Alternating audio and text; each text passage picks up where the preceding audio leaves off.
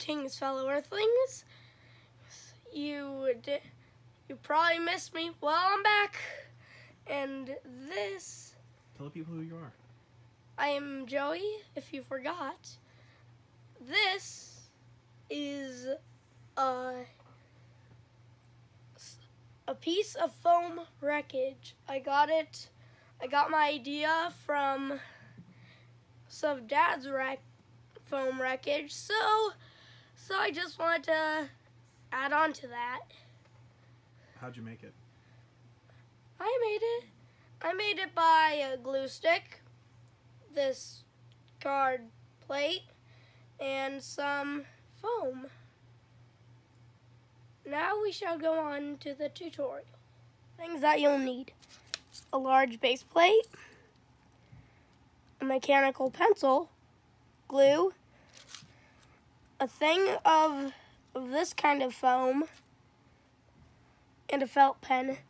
What you'll need, what you'll need to do first is, is draw out your shape, like so.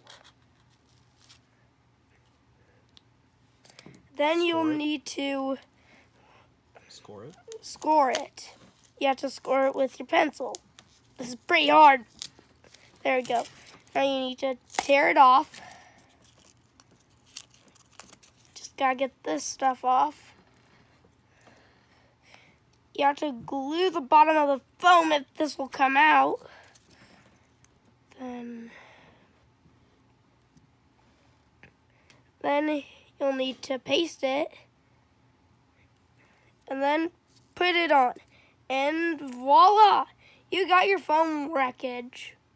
If you like this video, please like and subscribe. And if you liked it, you could, well, if you want to build more stuff like this, we have new videos coming out. And and we will share your foam terrain in a future train tutorial.